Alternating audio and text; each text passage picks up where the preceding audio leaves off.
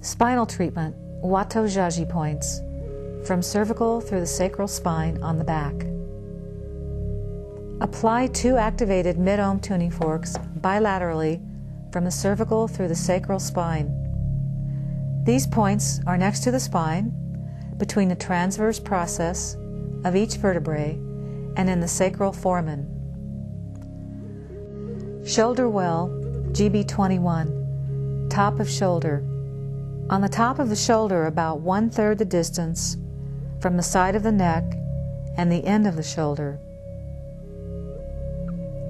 Apply mid-ohm tuning forks bilaterally on each shoulder. Then double the mid-ohms on one point and then the other. This treatment relaxes and opens the shoulder and the neck area. The shoulders drop and the breathing becomes deeper.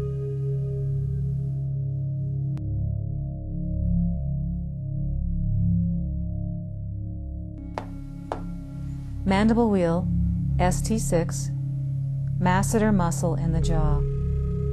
About one inch diagonal from the corner of the jaw toward the mouth.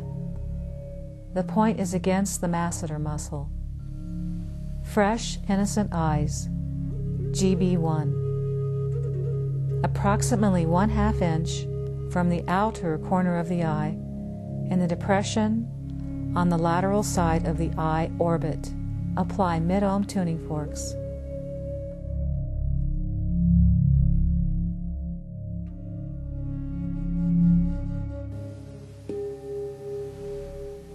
Use ohm singing bowls on or around the body after using the tuning forks.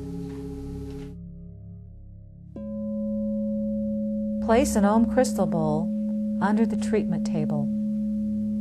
The sound gently vibrates the table and adds another beautiful resonance of ohm.